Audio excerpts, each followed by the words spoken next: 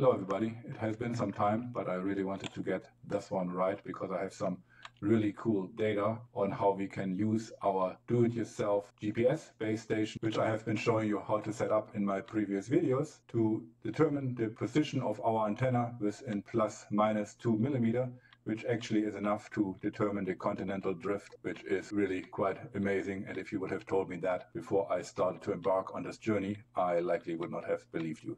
So with that, let's get started. So this level of accuracy is achieved by using PPP or precise point positioning with ambiguity resolution, which means not only do we determine the phase of our signal, but also we remove the integer ambiguity in terms of what particular part of the wave we are on. And also we use atmospheric models to correct for the atmospheric disturbance, which is imparted onto the GPS signal. So in this video, I will rely quite heavily on my previous video where I have introduced the hardware of my do-it-yourself GPS station and how to set everything up. A link to those videos will be in the description. So if you have not done so, it may be a good idea to take a look at them first. However, if you use different hardware, I think this video still will be quite useful because it goes over quite a few of the more general principles of how to set up a base station for very precise positioning. In any case, before we get started, we have to talk about a couple of things which have been irrelevant if you have GPS positioning of meters for normal GPS or even RTK GPS where we're dealing with precision of a couple of millimeters. And that is that if we deal with millimeter resolution, we no longer can treat the world as an unchanging sphere, which we have to do when we start going down to millimeter resolution.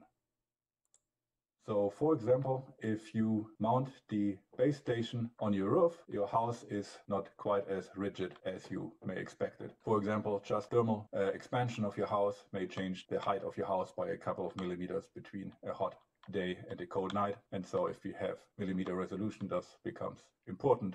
And there's another problem which is even harder to get rid of, and that is continental drift. So for example, if you take a look at this website here, what you can see is that the continents drift away from each other. For example, the North American continental shelf is drifting west and uh, Europe is drifting northeast. And uh, those drifts are on the order of about 25 millimeters a year. So that's the length of this arrow here. And that means we are drifting about one inch each year apart. So if you then drift uh, 25 millimeters a year and you have 2 millimeter resolution, this is about the drift you can expect in a single month. And clearly this would be impractical if you would have to change the position of our base station each month just because of continental drift. So one option you have, you can actually reference your base station, not in a global reference frame, but for example, if you're in North America, in a reference frame which is specific to the North American shelf. And we can go into this website here and uh, take a look at that. And what you then can see that Indeed, our drift is much smaller, but particularly if you're in California, since California is a very geologically active region, there is distortion within the North American shelf, which even if we use the appropriate reference frame, we cannot get rid of. And so what we then have to do, we not only have to tell our base station in what reference frame we have recorded our data, but at what particular time the data has been recorded. And then we have models which model the distortion of the Earth over time, and we can then calculate back to the appropriate position if we know the time of our measurement. So there actually is a nice uh, YouTube video series, uh, link will be in the description, uh, which goes into quite some detail on this topic. Feel free to check it out. However, what we then have to do, we have to record our GPS data for some time and then send it to a PPP service. And here you can see a report you, you're getting back if you send your data to one of those services here. And you can see here I have started my recording of my data some days ago and have recorded for about one day and uh, nine hours. And then if you send your data to those services, they will report back the position of your antenna in terms of a reference frame. So here this is the ITRF20, which is a global reference frame. And here is what is called the epoch, which is the year and a decimal of the year. This is the epoch meaning this is the time for which this particular data was recorded. And what you also can see here in this report is actually the, the tracks of the satellites which have been visible to my antenna over this recording period.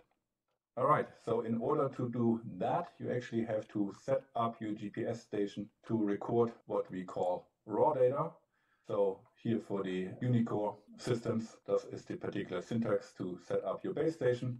If you have a different base station, you have to consult your manual and the, the keyword you want to look for is raw observation data. So you have to send out the raw observation data, which contains the phase information of the received satellite signals to your antenna, which you then record and send out for post-processing. All right, so let me then show you how you can set up the Unicore UM uh, modules for raw data recording. So if we go to our UPrecise software, again, this is the particular software I have been discussing in previous videos, and it works with my particular hardware. But any other high quality global positioning hardware will have very similar tools available. So as previously, the first thing we should do, we should send an F-reset signal to our base station just to make sure that we are starting with a fresh slate here and don't have any uh, previous settings which may be interfering with our configuration. Then if you have the UM982 module, you would use the signal group for best results. Again, if your model is the UM980 module, you would use signal group 2 here instead of signal group 3 and 6. And we send the signal.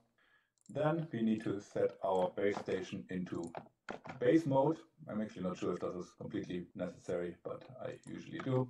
Make sure you're getting a valid response here each time. And now we need to configure our base station to send raw data with the OBS VMA command. And we only want to receive raw measurements every 10 seconds. So typically, if we are going for position data, we want to have those maybe every second or maybe even faster. Raw data, you really don't want to record more often than about 10 seconds because the files will get quite large over the recording period of typically 24 hours. And actually, if your file is too large, the server will reject them. So 10 seconds is a good compromise here and actually doesn't degrade your data because we are only interested in the long-term average and not in the in instantaneous data here. So we're sending those command and then we need to lastly save our configurations into the non-volatile memory in case we have a power outage. We don't want to lose those settings. And then you should see that now every 10 seconds you will get some signal here. Also you can see we're getting our raw data here and thus we have to save. And this is quite simple by pressing the save button here, navigate to an appropriate space, give it some name. So I typically provide the date here of my recording and click save. Well, I already have existing data here and I'm happy to overwrite those. And now you would let us run for about 24 hours. And after 24 hours, you can stop your recording here and navigate to the location where your file is saved. Right here, you will see your log data. And those data we then have to actually convert into a format which we can send to our post-processing service, which typically is the RINEX data. So luckily, the service is also provided here in UPrecise. You go to the little briefcase icon here and then under convert, you will have this little window pop up. And again, we have to then navigate to our data we just saved. It will auto-populate all those fields here. And then we need to turn this into the RINEX format here. And I usually use the latest format and say convert. And since this was very little data, this went pretty quick. If you have recorded data for 24 hours, this will take a little bit but you then should have those files here generated. And what I like to do, I like to compress them into a single zip folder.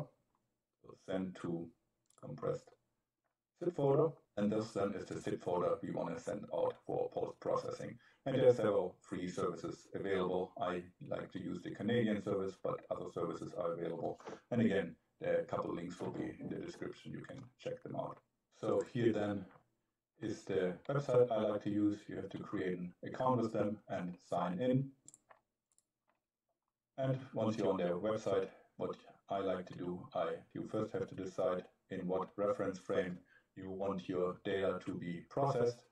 I like to use this international reference frame because I'm actually want to watch the drift of my antenna over time, monitor the continental drift. I go to ITRF and then you just select the data we have just created right here and you would submit them for processing. And this will take some time and then they send you back an email with the processed data, which comes in the form of a PDF file and here is a small part of the report they will send to you where you then get the precise location of your antenna with an accuracy of 2 millimeters in the horizontal directions and around 1 centimeter in the vertical direction. And again, they provide you the reference frame, which I selected the ITRF, and the time for which the position was valid in this particular reference frame. So what we can do then, we can take those data and plot it in features so here is my antenna on my garage. And if you zoom in here, you can see I have recorded data over some time. I started late last year here in a, around Christmas time in 2024. And I have drifted over the course of about half a year. Take this little measurement tool here, set this to millimeters, and I go from here to here, you can see that I have drifted around 12 millimeters over the course of about half a year, which if you compare it to the 25 millimeters, which is predicted for a year, is pretty much spot on. So one little caveat here, and that is that if you send your data out for post-processing, it takes some time for the atmospheric models to completely relax and be as precise as they can be. So this uh, data here is continental drift delayed, where I typically wait about 10 days or so before I send my data out for post-processing. Because if I take a look here at the immediate data, which is pretty much sent out immediately after receiving the data, you can see that there is the continental drift is uh, hidden at least over this time span here. In any case, if you then want to use this very precise data as a reference for your base station, you should use this data which now still contains the continental drift and translate it into a reference frame which is commonly used for GPS stations in your geographic region. And for North America, this is the NAD 83 reference frame. So if I open up this data here and zoom out a little bit, you can see that there is quite a discrepancy. And this is essentially where my base station would have been in 2010. And this is the data you, you provide as the actual location of your reference station if you want to set up a reference station for other people to use.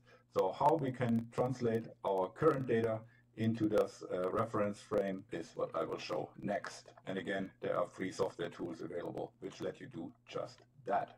And one of those services is provided by NOAA Again, a link to that particular website will be in the description.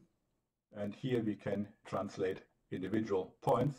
So clicking on here and now we have to select the reference frame of the input values which in my case here is the ITRF20 and we also have to select the output value which if you are in North America would be the NAD83 North American fixed plate reference frame and we have to provide the time or the epoch of when the data was recorded. That was 2025.5 and we want to use the epoch for which we want to translate our position to and a common reference frame which uh, base stations provide their position is the 20 2010 time so we put 2010 in here and now we have to provide our latitude and longitude.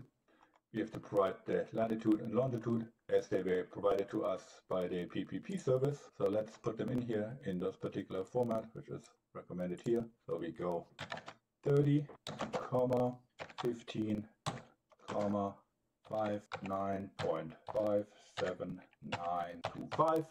And here actually we have to follow this convention here. If you are at negative coordinates, you have to provide a negative sign for, for each component here. So that would be minus 89, comma, minus 42, comma, and minus 37.64219 in my case. The height was negative 17.195. This is where my antenna 195 and then you can use the velocity predicted by this program unless you have access to more precise continental drift data, which I suspect you don't. And then we can simply submit. And we're getting an error here. And that is because this website is really quite sensitive in terms of how you input your data. There is no room for error. So let me go back. And the problem I have is that I have spaces here between my comma and my data. And this is enough to throw off the website. So let's get rid of all those spaces here and submit again. Now you have your data here as submitted in the ITRF 2020 reference frame. And here you have your data, which was converted into the NAD 83 reference frame. And the epoch here is 2010. And that then is the data you will provide to your reference station. So people who use your reference station for RTK correction have an agreed upon reference frame in which your reference station is configured. So I have put this here a little bit of a different slide. So here you have your ITRF 20, your NAD 83, and what you want to use, you want to actually use the ECEF coordinate system here, which gives you your coordinates from the center of the Earth in meters here, and you can see you get it down to millimeter resolution. So those are the coordinates you would provide to your base station with the mode base command, and you provide those coordinates to set up your base station. So let's do that as well. We're going back to UPrecise. And now we want to again use a F reset to exit out of the raw data mode. We can configure our signal group based on the particular model of the UM980 or 82 we have. And here it comes. Now we use those coordinates we have gotten from our PPP service in Earth centered, Earth fixed. We say mode, base, and we provide all those coordinates here. Say enter. And now we can set up our base station for RTK correction data. So we can provide our base station reference every 30 seconds. We can provide an antenna description also every 30 seconds. And then we want to provide the GPS correction data every second. The Chinese correction data. Also, every second, again, all those commands will be in the description. The Russian satellites every second, and the Chinese satellites, sorry, previously that was the European satellites, not the Chinese satellites. And then if you save those configuration, and if you're then interested in the position of your reference station, use the GGA command, which and then put out the position of your reference station now in this fixed coordinate system we have precisely determined. All right, so I guess that's it. Now you have a reference station which has been located within a couple of millimeters and has been referenced to the correct reference frame, which now other people can use with confidence. So that's it for this video. If you liked it, give it a like and consider to subscribe. And I see you hopefully soon. Goodbye.